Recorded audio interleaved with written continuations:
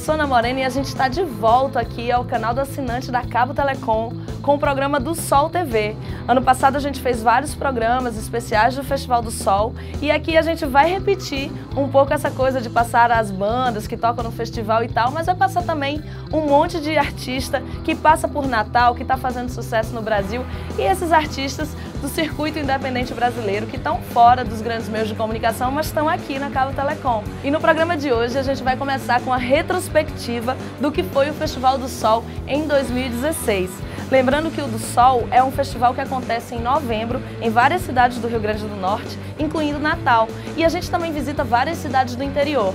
E no programa de hoje a gente vai começar mostrando um pouco do que rolou em Açu, a gente vai começar com The Candles, que é uma banda da Suécia, muito legal, que a gente trouxe ano passado, fez várias cidades do interior. Depois a gente tem uma queridinha local, que é o Talma Igadelha, banda bastante conhecida do público potiguar.